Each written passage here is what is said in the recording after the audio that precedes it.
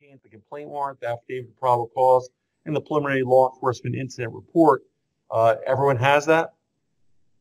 Yes, I do, yes, Judge. Usually the prosecutor marks that as S1, so I'm going to mark that as S1 and move that into evidence unless there's an objection. Any objection? No objection, Your Honor. I'm sorry, Mr. Thompson, what you said? No objection. Thank you. Uh, I also have the public safety assessment in my file. The public safety assessment was run on March 27, 2020 at 8:41 in the morning. Uh, It has a failure to appear score of three, a no- new criminal activity score of three, a elevated risk of violence flag, and a no release recommended. Uh, The prosecutor usually marks this as S2. Any objection to marking this as S2, moving into evidence? Ms. Mazer, Mr. Thompson? No, Your No objection, Your Honor. Okay, so that's S2. And lastly, I have a notice of motion for pretrial detention and a supporting certification authored by Jennifer Hans, who's an assistant prosecutor at the Cape May County Prosecutor's Office. Uh, This is usually marked as S3 and moved into, I'm going to move that as S3 into evidence. Any objection, Ms. Mazer or Mr. Thompson? No No. objection, Your Honor. Before we get started, before we get started, is there anything else that either the state or the defense wants to mark and and have the court consider? No, Your Honor. No, Your Honor. Okay, so with that, we're going to now, uh, now that the record is, what's being moved into evidence is, is, has been placed on the record and is clear, we're going to move to the probable cause determination. And with regard to the issue of probable cause, uh, is, are we going to be proceeding by way of uh, witnesses? I don't see any witnesses. I'm assuming it's it's either going to be proffer or stipulation. Uh, I'll turn to you, Ms. Mazer. How are we proceeding? Um, we would do it by, by proffer unless there is a stipulation, so I'd leave that to Mr. Thompson. Uh, No, Judge, I, I would object and challenge a probable cause finding as to second degree aggravated assault. Uh, Okay. Without even challenging the proffer, uh, I think on its face, Judge, it doesn't meet the definition. In that So- there's no allegation of significant serious bodily injury. Okay, so Ms. Mazer, I'm going to hear from you regarding uh, probable cause. Yes, You're Your Honor. by way of proffer, so go ahead, please. Yes, Your Honor. Um, on, I'm just gonna check my dates here. On February twenty-eighth, uh, two thousand twenty in Lower Township, um, the victim, the victim actually went to the hospital, um, one second, What was the date? February twenty-eighth. Okay, um, went to the hospital um, and police were involved because it was potential for a strangulation. Um, I will note that at that time, the victim said that it wasn't um, at the hands of this defendant, that it was from an unrelated um, incident with him um, that was not due to a domestic violence strangulation. Um, However, there were concerns, which was why the police were involved, that the marks did appear to be from a strangulation, um, and uh, therefore the police were called. Um, nothing was done at that time. It wasn't until um, on March 4th that um, that police officers became involved in an unrelated issue involving this case, realized there was an active TRO that had not yet been served on the defendant, um, and noticed in the TRO that the victim was placed under oath and actually stated, which I believe Mr. Thompson should have in his possession, the, the TRO, um, that during a verbal argument, um, the defendant became physical um, and grabbed her by the neck. Um, she had difficulty breathing, um, continued yelling, preventing her from going to sleep. And this happened for a couple of hours. Um, this, this strangulation of the victim. She also said that, one second, Your Honor.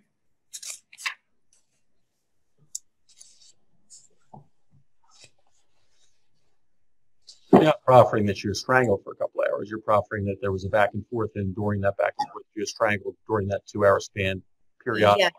Yes, but she did say she had difficulty breathing. He grabbed her by the neck, um, and that this this this was ongoing. She's not specific, but this was ongoing for two hours. So as to the strangulation, I'm, I'm not saying that maybe the strangulation went on for two hours, but this verbal physical abuse went on for two hours um, during that time, and that he's become more abusive to her I'm sorry, I should make sure I'm reading this correctly.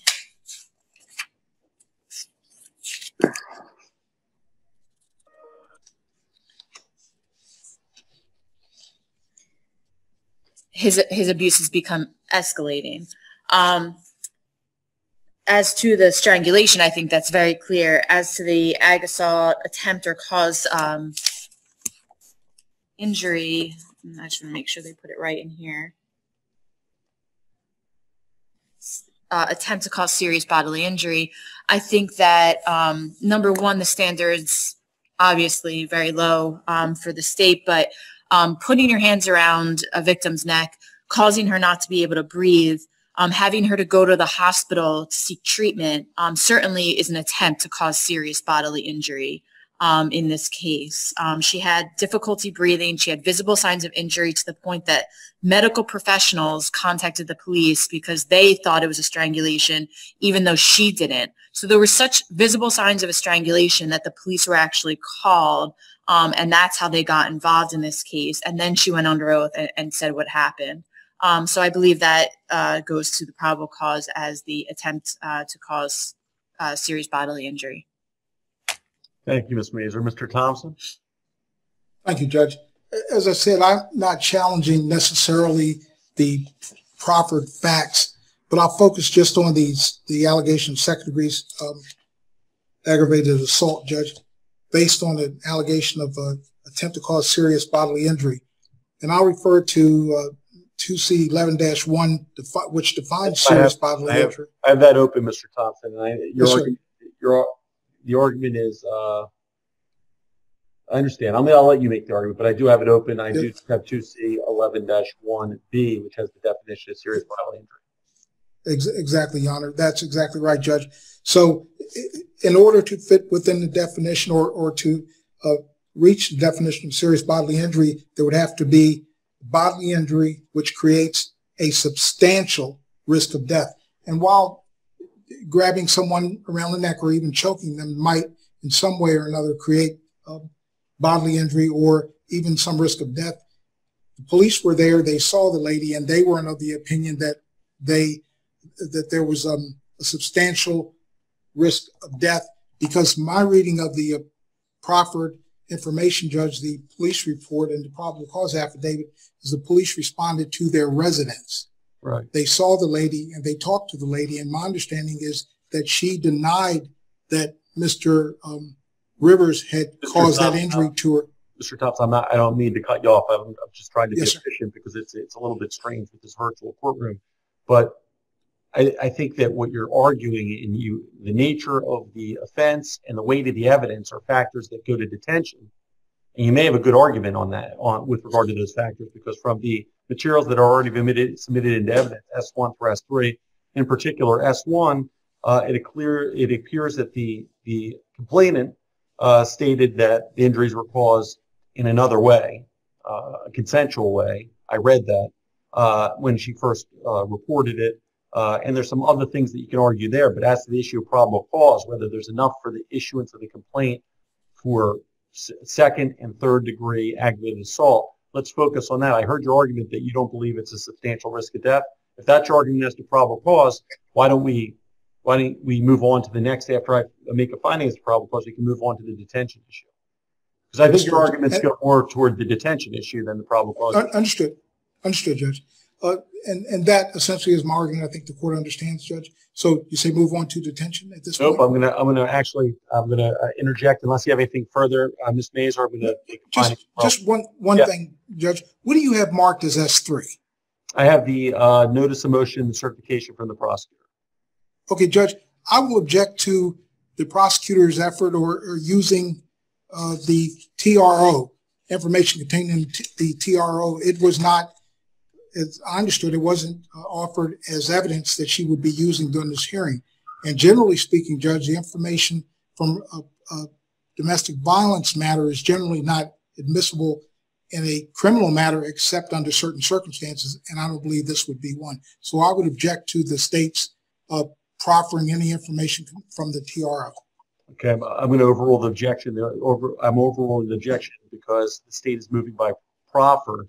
And when they're moved by proffer, they're not limited to the the actual items in evidence. They can move, rely on a police report. They can rely on uh, other things that they're proffering in court, including a restraining order. As for the restraining order not being admissible in the proceeding, I believe, and I could look up the rule if you want me to, I believe that the rule No, Judge, I understand. it I indicates understand that the you're- testimony can't be used unless certain circumstances. But it doesn't say that the other, uh, the, the itself can't be used at, for example, detention hearing. So I'm going to overrule the objection, but that's again not necessarily, uh, probable cause, but it would be relevant as the detention.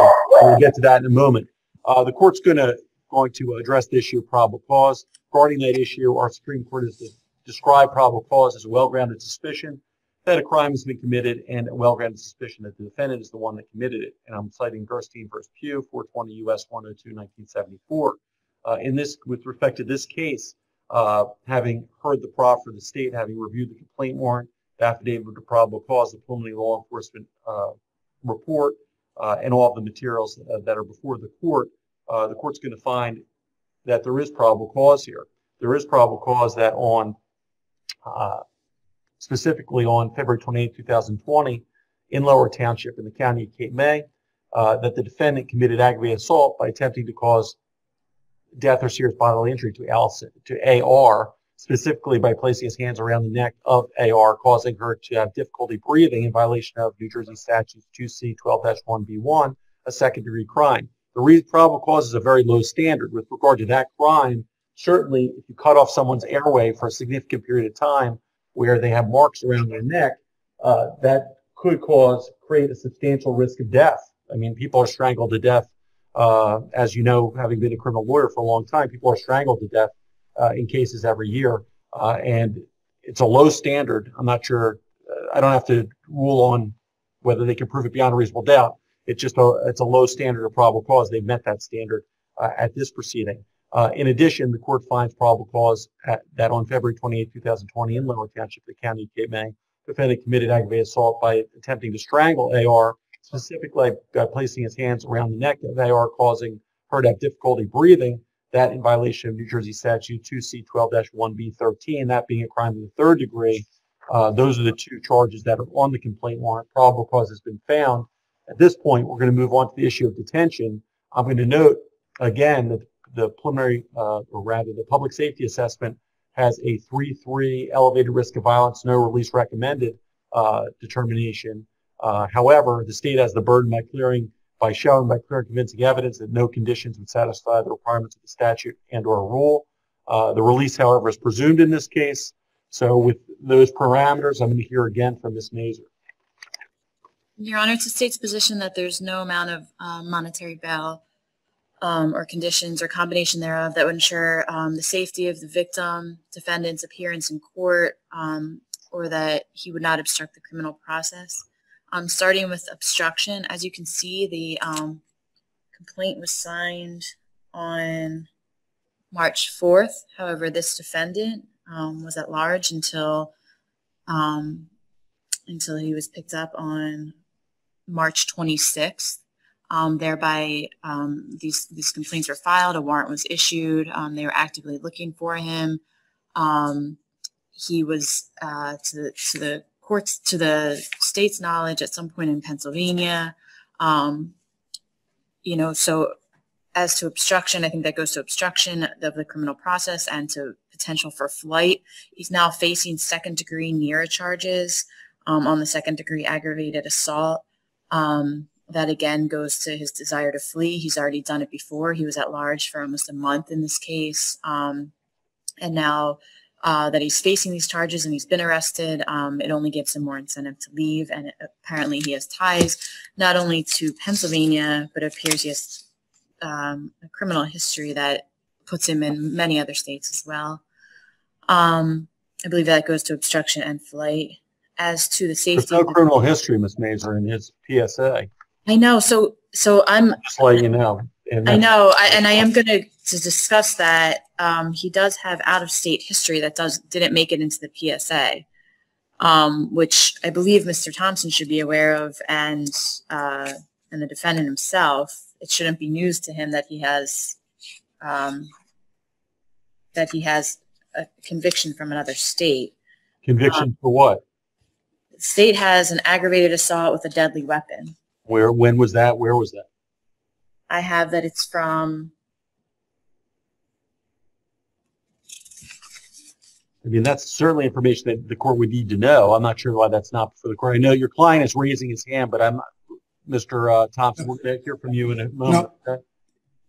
I'm sorry, I don't have the, it's conviction date of 2/19/2013. I have a confinement date of five years. And it's out of, I believe, Florida, but, uh, Texas. I also have a juvenile record on him. Okay, well, we're going to, so I understand that. I'll hear the rest of your argument. Okay. That's it. So basically, you have an aggravated assault from 2013 where you think that he received five years. Yes, Your Honor, and I have a, a juvenile record as well from him out of Florida. Okay.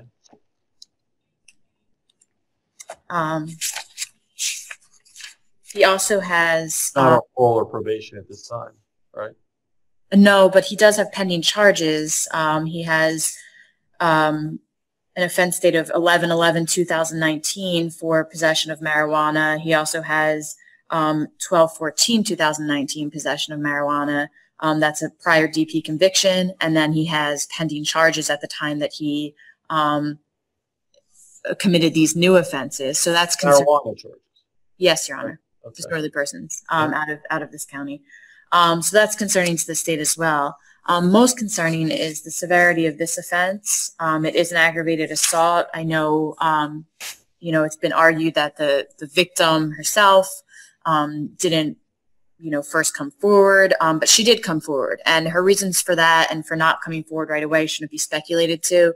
Um, she could have been scared of this defendant. He tried to kill her, essentially, is the state's position um, by strangling her. So, you know, it's certainly um, within the realm of possibility that she was scared to come forward or to, to say anything, especially if he was going to be released. Um, she did have visible signs of injury. It is second degree. Um, she did say in that TRO that his his uh, actions have escalated.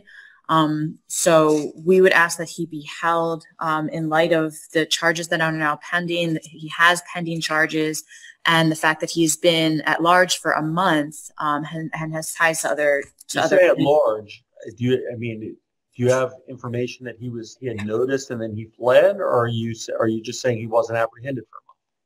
Well, he was the the warrant issued, um, and it appears that the police received information that he was in Pennsylvania, um, that he left for Pennsylvania, and they weren't able to get him there. I Um, understand, but I mean, there's a difference. You would agree with me. There's a difference between someone who knows there's a pending charge and flees and someone who just happens to have ties to another place like Pennsylvania and is in Pennsylvania, right? yes, Your Honor, I do agree with that. I And just- your, your, saying, your argument is essentially, I know you're saying he's at large, but your argument is that he was in Pennsylvania for some time and he was eventually apprehended. But you're not, you're not arguing to the court that he had noticed and he fled, correct? I just want to double check because I I do believe he did have notice, but I just want to double check before I say that. Your Honor, I may be able to save some time on that issue. Hold- I'm going to make sure Ms. Mazur's done and then, because Sure. I don't know if it was yesterday or last week. We had, I think it was last week with Mr. Anglada. We had a day where we went back and forth and back and forth and we're going to try to have a little Yes. control, even though I like to give the attorneys the opportunity to argue everything they want to argue. And Mr. Thompson, when you do uh, argue, I want to hear because uh, I want to hear about the aggravated assault. If that's in fact what, what the situation is with that, that case. So when, when it's your turn, please address that. Yes, sir. I don't have any information as to whether it just said that uh, they believed he had gone to to Philadelphia, um, and that that's why they hadn't been able to serve the restraining order either. Okay. Um, but he would have been noticed about the restraining order, and they would have tried to make contact. Um, but yeah, I will note that these charges weren't authorized until March, even though it happened in February. And just as to the ag assault, and I, I do know we established probable cause, but as Your Honor said, you know, somebody when they're being choked could be you know, dead in seconds um, if they're if they're not able to breathe. So I just want to make sure that was fleshed out. Okay, thank you, Ms. Mazur. Mr. Thompson? Thank you, Your Honor. First, uh, I'll start by saying Mr. um, Rivers was apprehended in the lobby of the Lower Township Police Department when he turned himself in on the 26th. Uh, after he learned there were charges for him, there may be charges for him, he consulted counsel. And Your Honor, I'm satisfied that he is prepared to uh, follow the advice of counsel, which is why he turned himself in. Uh, the aggravated assault, as I understand, Judge, came about as a result of a dispute um, that Mr. Rivers had with the alleged victim here. They have a child in common, and she has a serious substance abuse problem. And Mr. Uh, Rivers, I understand, got upset when he learned that she had passed out after using substance while she was caring for the child. Uh, Mr. She, as I understand, Judge, doesn't reside in New Jersey anymore. Mr. Rivers doesn't know where she resides, but there is now a temporary restraining order, and I represent him on that, Judge, and he is he understands what is involved, and he doesn't intend to have any contact with her whatsoever. He understands that the court will make provisions for him to have visitation with his uh, son. Now, the aggravated assault judge, it's my understanding, the police came to his um, house uh, where he was living with with the alleged victim after there had been an argument. The police questioned her out of the presence of Mr. Rivers, and she denied that he had done anything to her with purpose to cause her harm. And the court has read the papers, and I won't uh, belabor it, Your Honor. She said that the, But, um, uh, she said that the, uh, contact with Mr. Rivers was consensual in nature. That's correct, Judge. That, that, that is correct. And Okay. uh, Judge, I, I think that goes to uh, the strength of the state's case, and I'll, I'll let it go at that, Your Honor. Um, but Mr. Rivers is 28 years old. He, if he is released, Judge, he would be residing with a friend at 17 Cheshire Drive in Galloway Township. Um, and as I said, he did turn himself in. He was working at Bud's Bait and Tackle Shop, Your Honor, when he was, uh, when he was charged. I don't know what the status is right now because of the Right. pandemic I understand. but uh, he he did he did have a job. And Judge, I will say this: um, Ms. Mazur indicated that I she thought I was aware of any criminal history. I was completely unaware of any criminal history and didn't hear any of it until uh, she provided that. And Judge, respectfully, I know things are a little hectic here, but I should have been provided that. Be that as it may, Judge, I believe there are a combination of conditions which, if put in place, would assure two things: that Mr. Rivers will show up when he's supposed to. After all, he turned himself in. He did get counsel, not so he could run, but so he could address the issue. And the uh, violence flag, I understand, Judge, I believe it is here because of the nature, the second degree nature of the charge. Uh, and he has no desire to have, as I understand, no desire to have any contact with the victim. And he is uh, well prepared to abide by the conditions laid out in the uh, temporary restraining Um, order. let me ask you this, since the date Yes, of, uh, it sounds like this wasn't reported, for, it allegedly occurred on the 28th of February. Uh, my Yes, sir. recollection is this was a leap year, so it was the 29th of February. 29th. Yes, sir. Uh, and then, uh, he, this wasn't reported as a criminal act till the, the third, which was five days later, right? Uh, that would be right. Yes, Judge. And so some point in between, there was a restraining order procured by the complainant. It would appear so, yes, Judge. And what we But- believe is someone suggested to her she signed a restraining order. But Let me ask you this, between the time that the, either the restraining order was procured by the complainant or the criminal charges were, uh, secured by, by the police, uh, do- has Mr. Rivers had any contact with the complainant? not to my knowledge, not at all. He doesn't even know where she is. He believes that she is in Pennsylvania, but he does because DCP&P was Well, it is. involved It's at a month, a month. It's almost a month. It's April 1st. And in that time, even though that there's, there's, he's had not had any contact with her whatsoever. That's my understanding. Yes, Judge. Ms. Mazer, is that true? As far as you know? As far as I know, I'm waiting, um, they, they were supposed to contact the victim yesterday. I'm waiting for that update. Um, I mean, there's not been any contempt charges filed against him, right? no, no, not that I'm, And as far as the aggravated assault from Pennsylvania that you have, I mean, I, there, I don't have very much information on that. Do you have any other information other than he got, he was convicted? from the one from Texas, you mean the aggravated assault with a deadly weapon? I'm sorry. Yeah, that's all I have. I, I have his, um, there, I mean, there was other, I'm only talking about convictions. There was other charges associated with it, but it appears that he was convicted of that on the date that I, that I gave, um, in 2013. And it was aggravated assault with a deadly weapon. And last question, and I'll ask both counsel and whoever has information. Uh, you said there was a hospital visit? She did go to the hospital. Was saw, on the 28th or was that on the 3rd or somewhere in between? no, that was on the 28th. So when the police responded to her house, she was taken to the hospital or she went on her own accord? It appears that actually the 29th. Okay. So Um, maybe yeah, after midnight or s- something? It's, it appears at nine, nine o'clock at night. Okay, so, on the- so Or in the morning. at nine in the morning? Yes, I'm So sorry. the next day she went to the hospital in the morning? Yes, Your Honor. And she continued at that time to, I guess, tell the police that, or tell the hospital the story that it was consensual? So it doesn't look like. So- So it, it appears, I'm sorry, it's a little, it's a little confusing with all of the workers that was involved. It appears that she tells DCP&P, who was then involved, that he caused the injuries during a domestic violence incident, possibly from strangling her.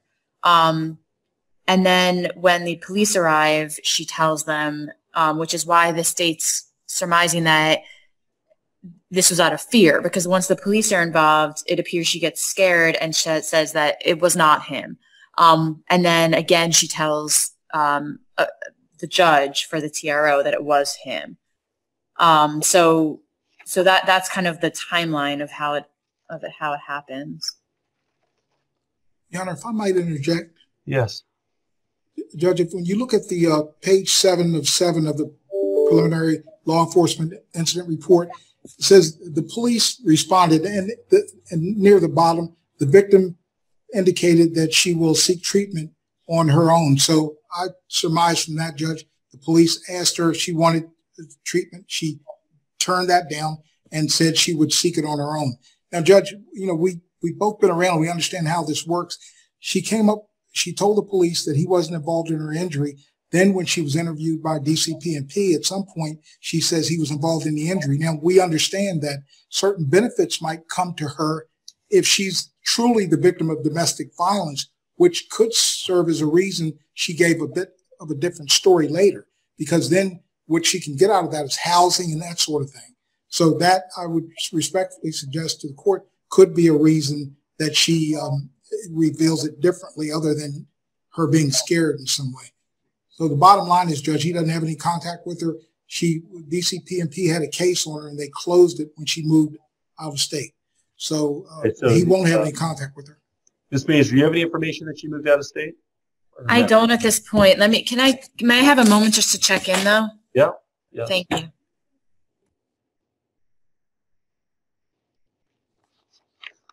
I said I wasn't going to go back and forth, and then I went back and forth.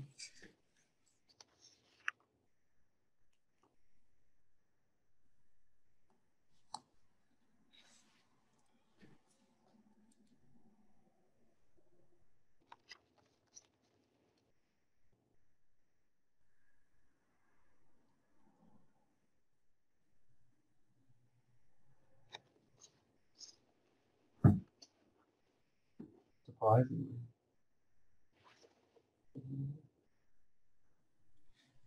Because I think something else is going on. You never know, right? I mean, there is not. Yeah.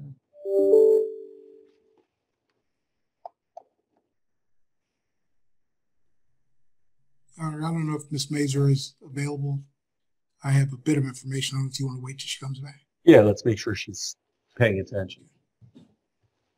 Ms. Mazer, Mr. Thompson has some information he was going to, Thank you. And they should let me know within a couple, like, hopefully 30 seconds. okay. Go ahead, Mr. Thompson. What- It's my understanding, Judge, that she's in a 30-day rehab in the state of Pennsylvania to deal with her substance abuse issue. We have had contact with her aunt, so that's who I'm trying to. Okay. Yes, that's who I understand she was living with in Pennsylvania. I'm ready to roll. Do we want to move forward? Do you want 30 more seconds, Ms. Mazer? No, that's that's fine. I don't think it'll change much. Okay, so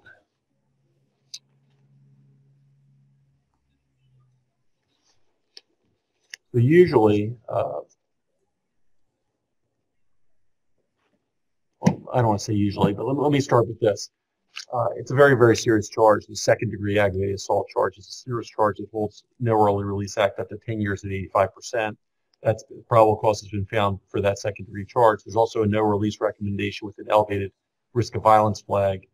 Uh, and under those circumstances, I think that they would they would usually cause concern for the court. And I would say, if you under those circumstances, uh, the court has, I guess, had similar cases where uh, the court might find that the state has met its burden by clear convincing evidence uh, based upon the charge, based upon the, the potential sense, based upon the facts, and based upon a lot of other things that are going on here. When I review the what's been marked and moved into evidence as S1, uh, and I look at the factors here, the nature and circumstances of the offense charge, they're under New Jersey statutes 2C 12-1, the assault statute. Certainly, a strangulation can be an aggravated assault second degree if it causes risk of death uh, or substantial uh, or uh, serious bodily injury. Uh, I didn't hear any evidence in the case that it caused serious bodily injury. The reason I found probable cause was that there could be a risk of death, but there was nothing uh, argued from the hospital uh, or anything else that, that, that would say that the, the alleged victim in this case was placed in risk of death. And in fact, the aggravated assault statute was amended not too long ago to add a specific section which would be section, subsection 13, 2, 2C 12-1, B13, that made strangulation a crime of the third degree. In some, some circumstances, before that section was added, strangulation was being charged as a simple assault. So that was added specifically so it could be charged as a third degree. Uh, and if you look all the way at the end, uh, uh, the gradation section of aggravated assault statute, it's a third degree. Uh, I have to look at the nature and circumstances of the offense charged under the statute. I have to look at the weight of the evidence. And although probable cause was found, the weight of the evidence, there, there's not been nothing presented to the court uh, that this truly would, would be uh, at a higher level than probable cause, uh, a second degree aggravated assault. Uh, in addition, the statements of the alleged victim or the complainant here, when she was, when the police were called and she, or the police responded, I'm not even sure how they responded, but they responded, she advised them that this was a consensual act. And then she appears to have made different statements to uh, DCP&P, uh, possibly to family court. And then there's some indication she, she left and she might be in a rehabilitation facility, but that was part of the proffer of the defense. So the weight of the evidence is not necessarily strong in this case. The history and characteristics of the defendant, the court is clearly concerned about the prior aggravated assault, but other than that, sounds like he has stayed away from the complainant uh, during this entire month uh, when he had every opportunity to, I guess, intimidate her or contact her or do anything else that he wanted to do regarding her. Sounds like he works. Sounds like he has a local place to stay without her. Uh, at the time of the offense, I understand the argument that he's on pretrial release, but he's got a summons for a marijuana charge that this state is, is viewing differently these days. Uh, he's got no failures to appear, no, uh, at least not in New Jersey, not on the PSA. Uh, the nature and seriousness of the danger that the defendant would pose, it, sa- it sounds like he may be a danger to the complainant. There's no question, but there's a restraining order in effect right now. He's abided by the restraining order uh, which we hear cases every day where defendants don't abide by the restraining order. He's abided by the restraining order in that he hasn't had contact with her, and he actually came back and he turned himself in. Uh, the court has viewed the, re- the public safety assessment in this case and the no release recommendation, which takes into consideration a NERA offense, which the court, while charged as a NERA offense, uh, made some comments about the fact that it may or may not be a second degree offense. Taking all that into consideration and there's a presumption of release here. Uh, under the statute, under the rule, there's a presumption of release. The state has the burden of proving everything by by proving one of the uh, the triad, as they call it, by clear and convincing evidence. They have to prove that there is the defendant that his detention is necessary, uh, and that there's no conditions, monetary or otherwise, that would assure his appearance in court, assure the protection and safety of a person or the community, and or assure that he will not obstruct justice. In this case, uh, there's no evidence he's going to not not appear because he actually turned himself in. There's no evidence that he's going to obstruct justice because he didn't do anything like that in the month that he was out. And there's just no evidence to support that.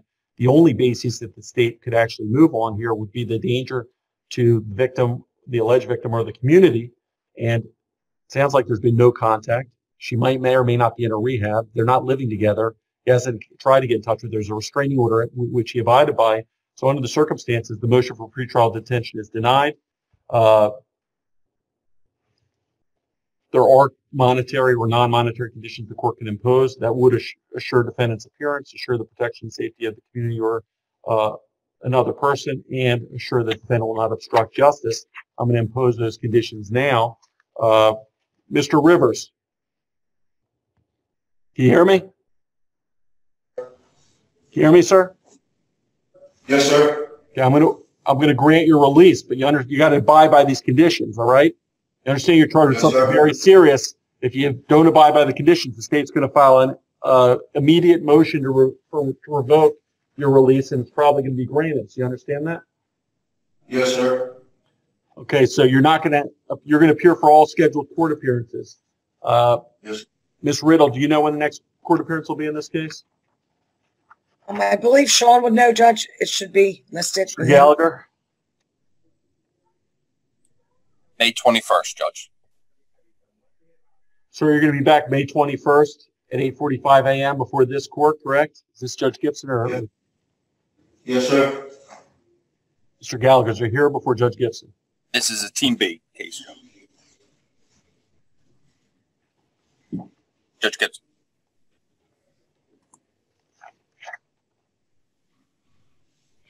So, sir, you're going to be before Judge Gibson on May 21st, 2020 at 8:45 a.m. You understand that? Yes, sir. You're going to have to immediately notify pretrial services of the address that your lawyer gave, that where you're going to be staying. As soon as you're released, you have to let them know that. You have to let them know your telephone number and all your contact information. You understand that? Yes, sir. You can't commit any new offense, including even a DP offense. You understand that? Yes, sir. You're going to have to avoid contact with the victim in this case. You understand you can't have any contact with the victim in this case. You understand that? Yes, sir. If you have contact with her, it'd be a violation. Okay? Yes, sir. Can't go to her place of uh, residence. Okay? You can't go to the victim's residence. You understand? Yes, sir. Don't go anywhere near that. You also have a restraining order, so you're going to have to abide by that. You're going to have to report to pretrial services. You're going to be on level three, so it's going to be once every week in person, and then once the once in person, and then the next week by phone, in person by phone, alternating. All right. Yes, sir. That might be modified right now because of the coronavirus. You're going to have to get in touch with them and contact pretrial services. All right. Yes, sir. You can't possess a firearm, a destructive device, or dangerous weapon. You understand that? Yes, sir. You can't excessively use alcohol. You can't use drugs at all. You understand that? Yes, sir. I'm signing your release order now. You can be released today. Unless there's something else holding you, but I haven't heard that anything else is holding you. No, sir.